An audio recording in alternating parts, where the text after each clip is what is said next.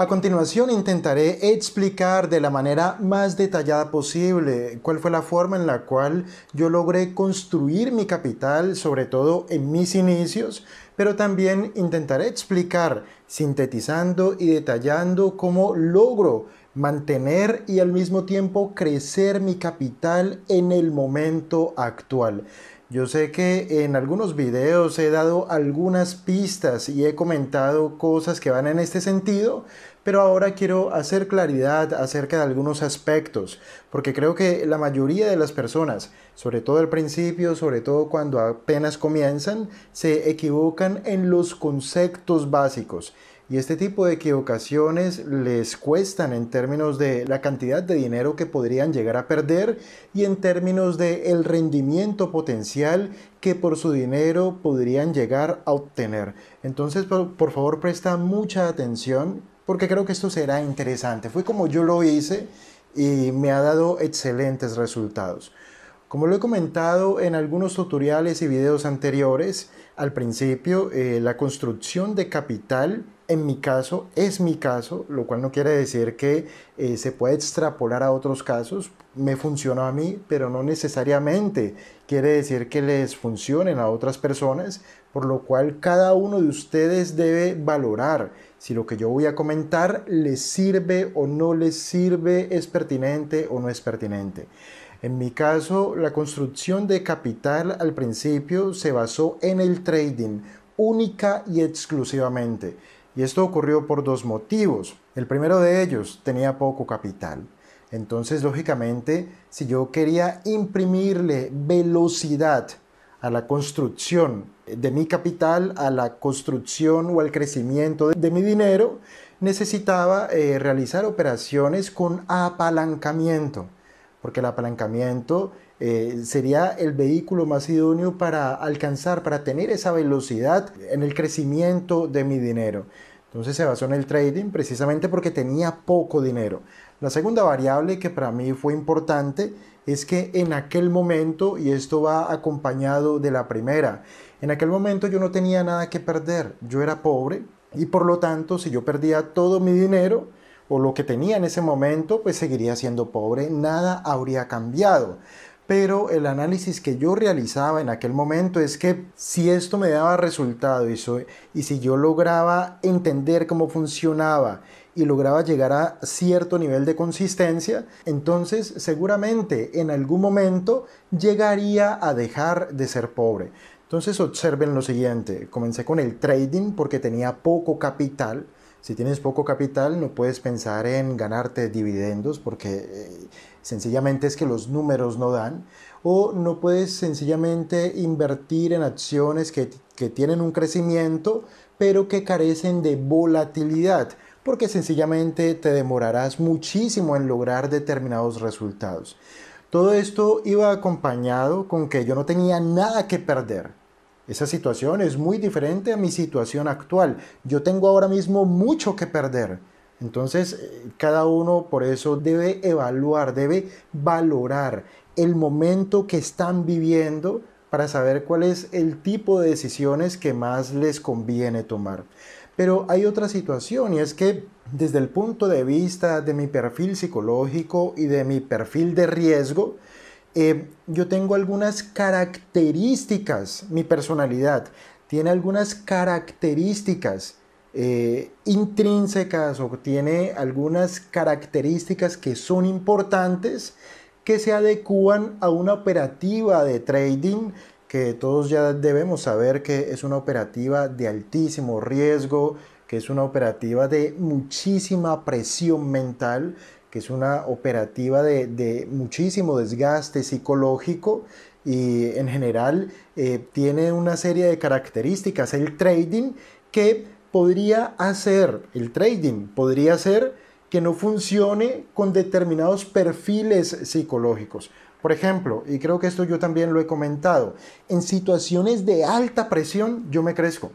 Es decir, yo me siento como pez en el agua en situaciones de alta presión cuando estoy metido en un problema o cuando eh, eh, ya se llega la fecha para algo, yo me crezco y funciono mejor. Yo funciono muy bien bajo presión. Y claro, esto encaja a la perfección con una operativa de trading como era la que yo tenía sobre todo al principio. Pero existen otras personas que cuando están bajo presión se ponen a llorar, se tiran al piso, buscan culpables, se hacen las víctimas, quieren dar pesar, eh, se encomiendan a Dios y todas estas cosas. Y esto no funciona. Eh, nosotros tenemos que determinar, esto es muy importante, tenemos que determinar si nuestro perfil psicológico de riesgo se adecua o encaja con una operativa de alto trading o con una operativa de trading. ¿Esto qué es lo que quiere decir? Que el trading probablemente no funciona para todos. El trading no funciona para todos.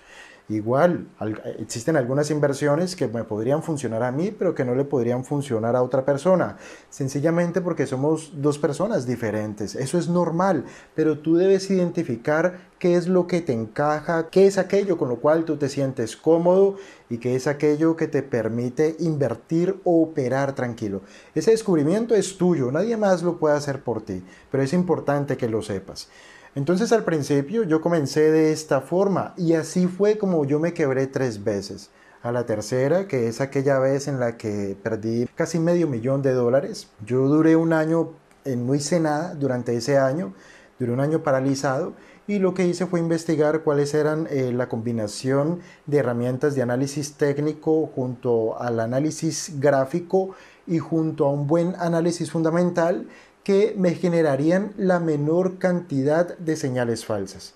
No estaba buscando la mayor cantidad de señales contundentes, no.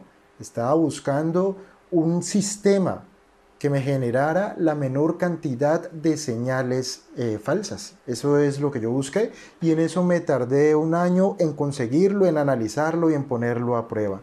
A partir de allí todo fue historia porque eh, la quiebra fue en el año 2006, llegamos al año 2007, he terminado de pagar todas mis deudas, fue un proceso de aprendizaje y encaja con el año 2008, un año en el cual yo exploté porque todo este conocimiento acumulado y todas estas experiencias acumuladas se me, eh, fueron geniales que ya las tuviera interiorizadas y que ya, las, ya fuera consciente de ellas cuando llegó la crisis subprime del año 2008.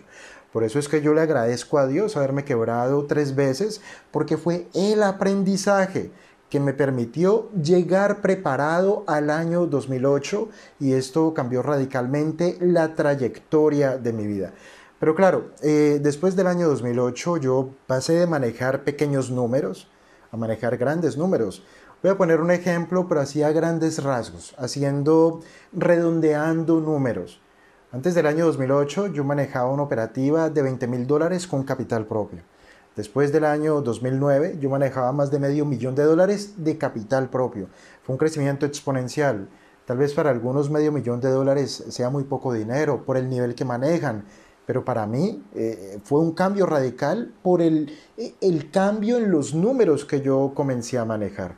Pero claro, llegas a un punto crítico y a partir de allí, eh, además de llegar a ese punto crítico, eh, tu edad, tu biología cambia, todos cambiamos. Es decir, yo ya no era el mismo joven de 26 años, ahora tenía 28, 29, 30, 31, 32, 33 años. En algún punto me da un pequeño, una, una pequeña picada del corazón. Fue algo muy sutil, pero lo que yo sentí en ese momento era que si tomaba el teléfono para llamar a una ambulancia, me moría. Es decir, sentía como que me iba a crujir el corazón. Eh, en ese momento yo entendí que la intensidad de mi trading debía cambiar o directamente debía paralizarse porque me iba a morir. Es decir, bajo presión constante es como estar en estas fiestas electrónicas 15 días seguidos, chispón, chispón, chispón, chispón. Imposible, o sea, así no puedes estar toda tu vida. Eh, porque sencillamente fue lo que me ocurrió a mí, no quiero decir que le vaya a ocurrir a todo el mundo, eh, tu biología cambia y ya tu nivel de resistencia física y emocional cambian, eh, todo cambia. Entonces allí tú tienes que cambiar de estrategia para no paralizar el crecimiento. A partir de allí yo seguí qué es la estrategia que yo tengo actualmente. El 90% de mi capital está invertido en acciones tipo blue chip, y en acciones tipo Dividend Aristocrats, eh, es decir, en compañías con un gran valor fundamental que pagan dividendos y esto me genera un flujo. El otro 5% del capital es efectivo, que yo mantengo en efectivo o en renta fija de corto plazo por si ocurren imprevistos, por si tengo una emergencia médica, por lo que sea. Imprevistos que todos podemos llegar a tener, necesito dinero en efectivo. Y el otro 5% del capital yo lo utilizo para trading, no con la misma intensidad y frecuencia de antes, pero sí que sigo realizando operaciones de trading. De hecho, por ejemplo, con el grupo de WhatsApp de Invertir Aprendiendo, a partir de hoy voy a comenzar a compartir con ellos todas las operaciones de trading que realizo con una cuenta real. Entonces hoy fue eh, la primera clase de eso y espero seguirlo haciendo eh, cada vez que vaya a realizar una transacción o vaya a ejecutar un análisis previo a una transacción. Esto es solo para el grupo de WhatsApp al cual pertenecen no solamente los que han comprado ese servicio, sino también los socios Elite y Gold. Sigo. El 5% en operaciones de trading, pero no con la misma frecuencia e intensidad que antes. Pero escúcheme bien yo lo que hago. Por favor, prestar atención. Por ejemplo, ese 5% son, por ejemplo, pueden ser 30 mil, 50 mil dólares. Yo con eso hago trading, es decir, operaciones con apalancamiento que si salen mal, como es apenas un 5% de mi capital, pues no pone en peligro mi calidad de vida. Pero el hecho es que cada vez que yo gano dinero con el trading, yo retiro el dinero. Y eso yo lo he hecho desde siempre sobre todo después de que me quebré la, tercera vez. Yo retiro el dinero, gano dinero, duplico la cuenta, retiro. Gano dinero, duplico la cuenta, retiro el dinero. Gano dinero, duplico la cuenta, retiro el dinero. Y ahora, ¿en qué, qué hago yo con este dinero que yo retiro de mi cuenta de trading? Con este dinero yo compro activos de gran valor fundamental con una visión de largo plazo. Escuchen bien esto, por favor, o presten atención porque esto es lo que convierte, yo diría que este es un estilo de inversión que te hace indestructible. Porque primero, eh, el grueso de mi capital está en inversiones sobre activos, acciones de gran valor fundamental y eh, acciones tipo blue chip y, y del estilo dividend aristocrats. Y esto de hecho va creciendo muy bien y con los dividendos esto se retroalimenta y va creciendo y va creciendo. Es que además cada vez que yo gano dinero con el trading, yo lo retiro y compro más acciones de este estilo. O yo lo retiro y me compro un piso para alquilar, o yo lo retiro y me compro un parking para alquilar, o yo lo retiro y me compro un trastero para alquilar. Siempre yo estoy retirando y con este dinero me compro activos de gran valor fundamental. Y yo creo que esta es una estrategia que te hace indestructible a largo plazo y que te permite llegar a grandes números a largo plazo y, hombre, eh, que te permite estar muy tranquilo. Yo eh, realizo muchísimo trading sobre el Standard Poor's 500.